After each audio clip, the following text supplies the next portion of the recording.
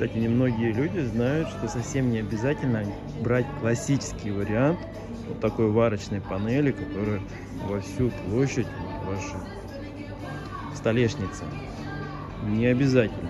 Если у вас, например, другие задачи, и вам вполне хватит вот такой панели на две кастрюли или кастрюли сковородку, то вы можете просто остальную зону, которая у вас осталась, отвести под рабочую панель. У вас будет столешница, на которой вы будете выполнять ну, те задачи, которые вам важнее, чем, например, 4 колфорки. Вам вполне достаточно двух, вы на них можете делать все, что угодно. При этом у вас освободится еще ровно вот столько же места под какую-то другую деятельность.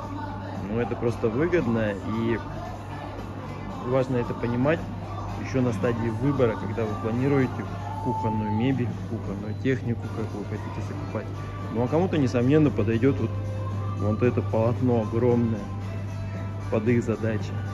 Кому-то вот такой вариант. Ну, то есть, это классика, когда мы выбираем технику под конкретные задачи. Технику, мебель, строительные материалы. Все под конкретную задачу. Инструменты берутся под конкретную задачу. Не просто помощнее, покруче, там, профессиональнее.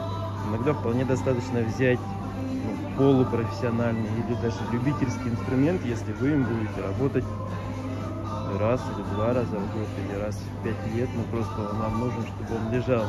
И при этом вы им будете пользоваться очень долго, и когда вы будете его покупать, вы не будете переплачивать там дорогой профессиональный инструмент и сверхнадежный, который рассчитан на ежедневную работу, а возьмете вот то, что вам нужно, гораздо дешевле и полностью закроете свои задачи.